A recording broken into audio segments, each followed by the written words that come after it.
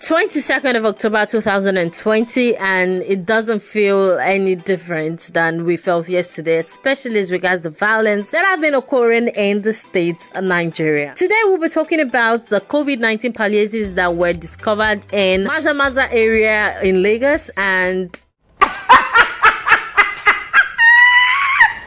Yes, we'll talk about that. President Buhari has also addressed the people of Nigeria, and that's something we'll take as well. We'll also talk about another set of COVID 19 palliatives that were found in the Oba of Lagos Palace, and many more developing stories. Welcome to Trends and Opinions. Stay with me.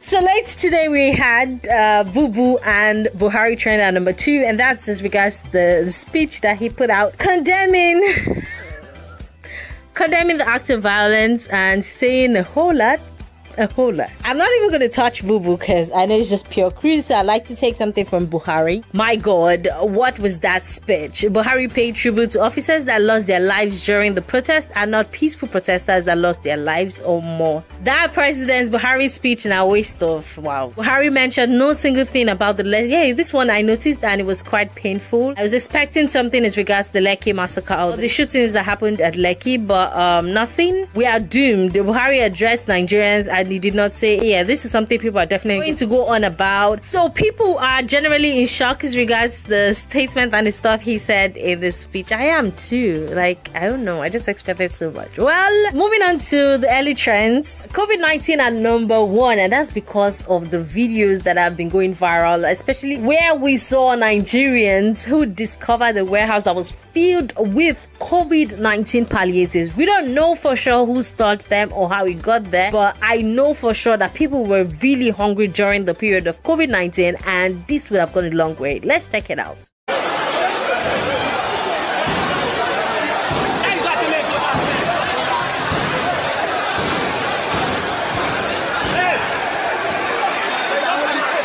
The person who found these warehouses, is the father Christmas of the year. I bought this particular COVID-19 Indomie for 2,200 Naira two months ago. Someone sold palliatives to me. Meet the woman topping the Forbes list of COVID-19 palliatives. She's worth over 20 cartons of, you know, you guys and cruise though.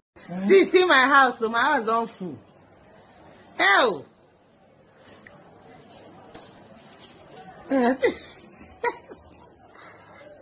妈的。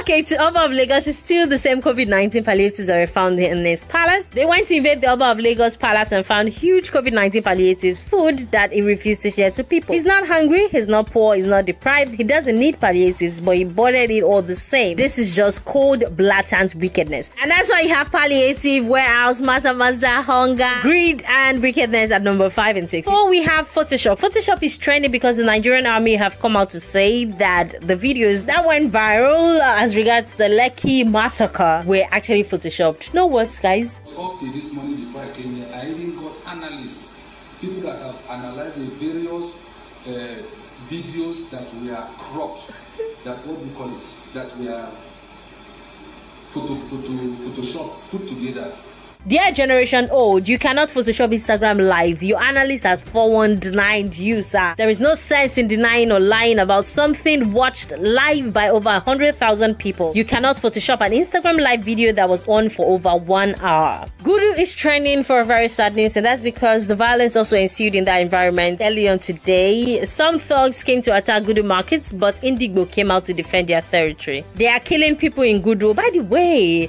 please let's tone down on the fake news news and unverified information that you put out. You don't even have to retweet if you're not sure of what you're putting out. So please, please, and please. And so this is all for today. This is one of the sanest episodes I've got to do in recent times, and I hope it gets better. I hope things tone down and the government also does more to answer the people and the youth. But for now, au revoir. My name is Becca. Good night.